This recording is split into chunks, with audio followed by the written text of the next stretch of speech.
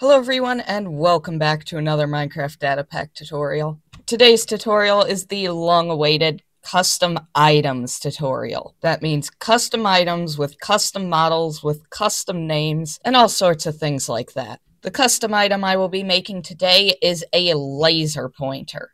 If you haven't been following along, this is a three-part series where we first made a custom damage type with a custom death message, in part two, we got some raycasting done and made our laser. And today, of course, we are making a laser pointer that we can right click and shoot our laser. And although this tutorial is specifically for the laser pointer, I do believe that the information covered in this video can be carried to all sorts of custom items. So with that out of the way, let's get started. If you have been following along with the tutorials, here is where we will have left off. We have our data pack with our damage type and these raycasting functions. I will not be changing the resource pack today, however, I do have a tutorial on custom models for if you would like to make a custom laser pointer model. To get started, we need to make a few more things. We need four more functions. They are going to be display underscore energy dot mc function this function will be responsible for handling a title in our action bar showing how much energy we have left. We need a give.mc function. This will give us our custom laser pointer item. And we need the classic data pack load.mc function and tick.mc function. These are functions that will run when our data pack is loaded and every tick. Now, these two functions will not work on their own.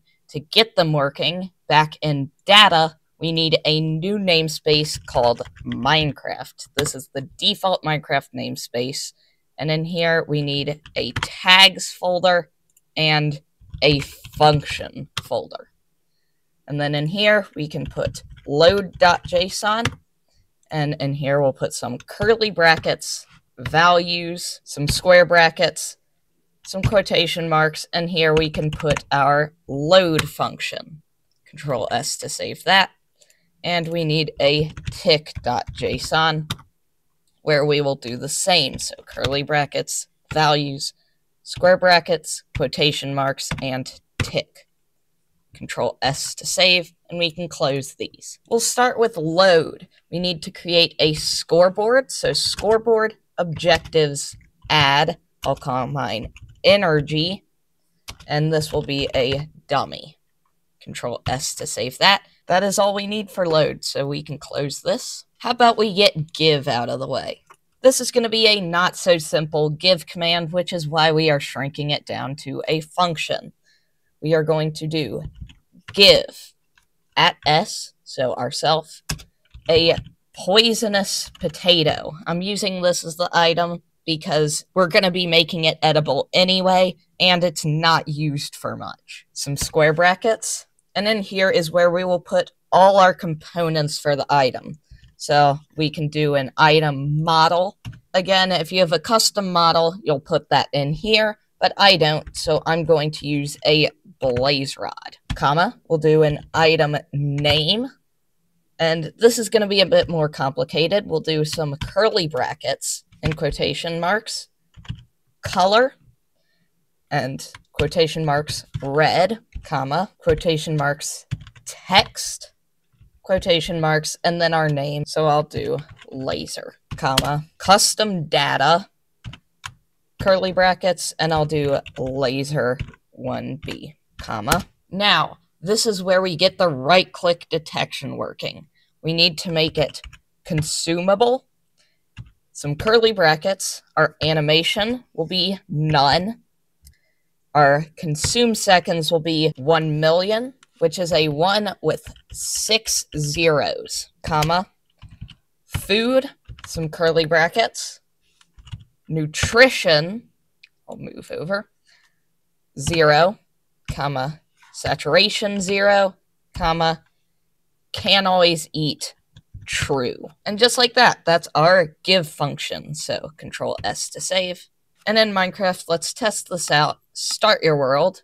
I know what I'm doing. And we can do it slash function, and we should see tutorial give. And if we do this, we should get a laser. And if you right click with it, you should see that it uses the item. Now let's get this right click detection working. In tutorial, we need a new folder called advancement. In here, I'll create a new file called use.json.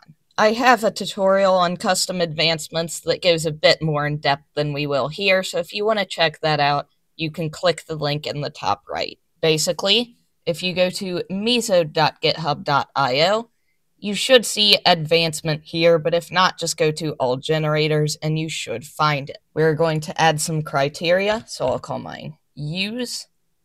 Our trigger, if we scroll down, find using item, add some conditions, add some item conditions, components, set this to custom data. We'll set this to a string, some curly brackets, and we want to do laser colon 1b. That was our custom data from earlier. Under rewards, we want a function. This is going to be our raycast function. So tutorial colon raycast.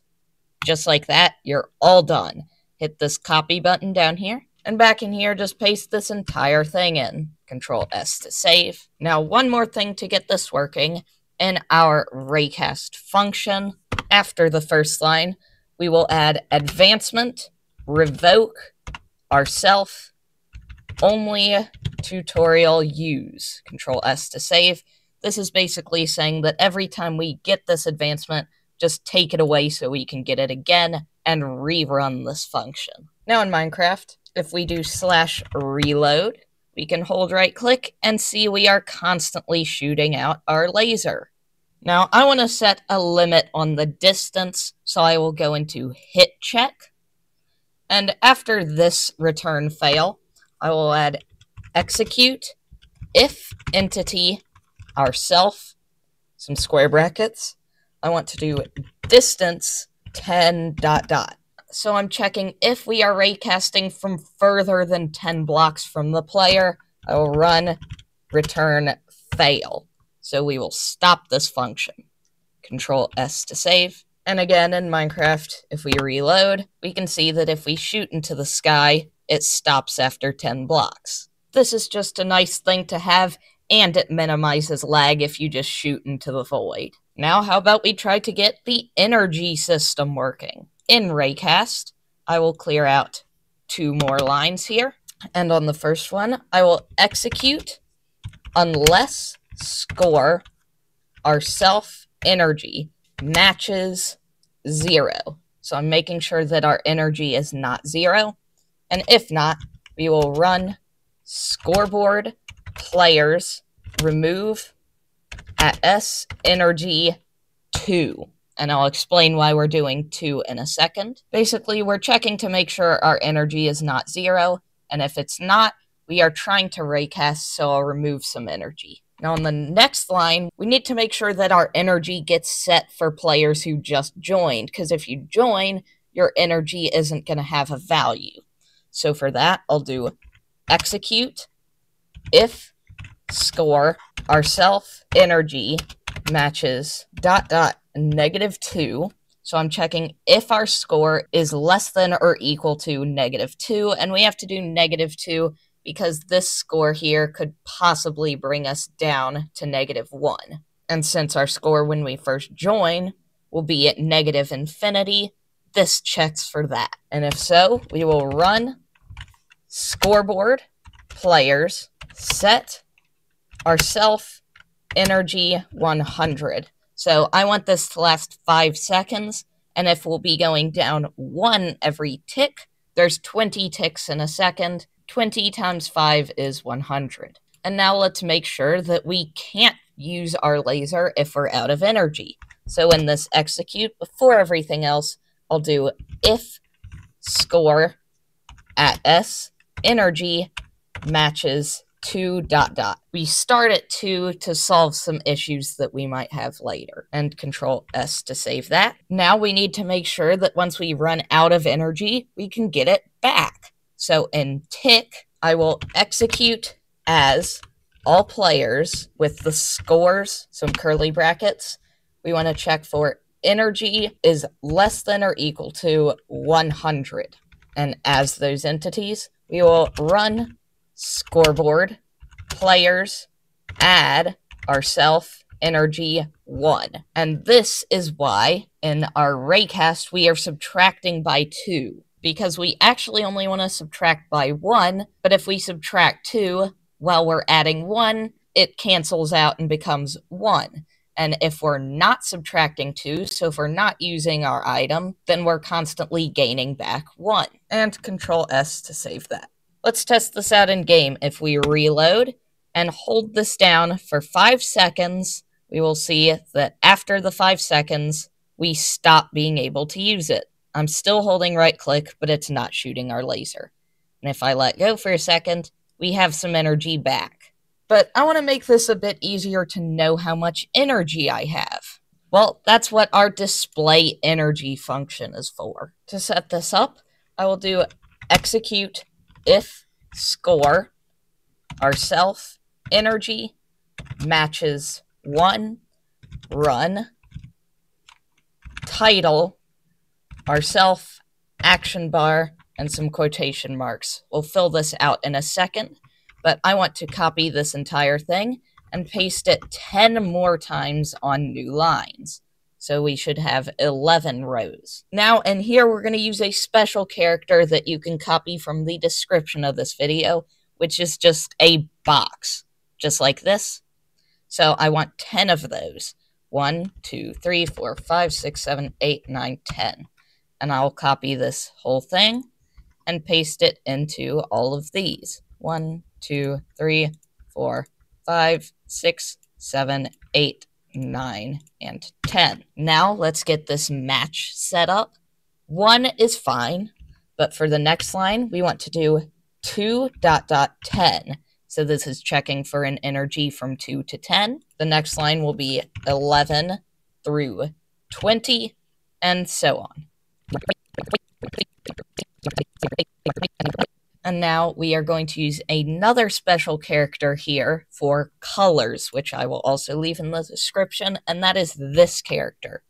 If we do that and then an A, this will color it lime green. So I'll copy this and put it before all of them except for our first one. Just like that. And on the first one, I want to do the same thing, but with an 8. The 8 is like a grayed out color. So this is showing that we have no energy left. And if I copy this, then here I can put it after the first one. Here I'll put it after the second one, and so on. But on the last one, we will leave it because it would go here, so there's no point. And this is basically showing that if we have 91 to 100 energy, it'll show full energy. If we have 81 to 90, it'll show 9 as full and 1 as empty. You get the idea. So control S to save that. And to get this showing up, we will go back to tick. Now first, I want this to show up for anyone who is holding the laser pointer. So on the next line, I will execute as all players some square brackets. I want to do NBT, some curly brackets, selected item, some more curly brackets, components, some more curly brackets, custom data, some more curly brackets, and our custom data was laser 1B. And if we find a player with that NBT, I will run function display energy. And now I want to display it to one more player. So make another line. And this player is going to be any player where their energy is filling up. If your energy is still filling up, I want you to see it. So I will execute as all players with the scores, some curly brackets, energy equals dot dot 91. So that's checking if we have a score filling up up to the full bars, which, if you remember, was 91 at the lowest. So if so, we will do the same thing. Run function display energy. Control S to save. Now in Minecraft, reload, and you should see if you right click our energy bar down there. We can see it draining, and when we run out, it stops firing. And if we let go of right click, it starts filling back up again. So that should be everything. If I pull out a creeper and get some barriers here, I'll build out a little barrier cage for it and put a creeper inside. And now if we stand back a bit and pull out our laser, we should be able to shoot the creeper with our laser. Just like that. And in survival, if we do it to ourselves, we should have our custom death message from the first episode. So there you go. We have successfully made a custom laser pointer that shoots out a laser and kills mobs it hits. And like I said, although we were focusing on one thing in particular, I do think that you should be able to take the concepts from this video and put them into any custom item data pack you're working on. And if you make anything really cool, feel free to join my Discord. I'll leave a link in the description, and we have a finished packs channel where you can leave finished packs that you have made for everyone to check out. And if this tutorial was helpful, please consider subscribing. It helps me out a ton. But with that, thank you for watching. Goodbye.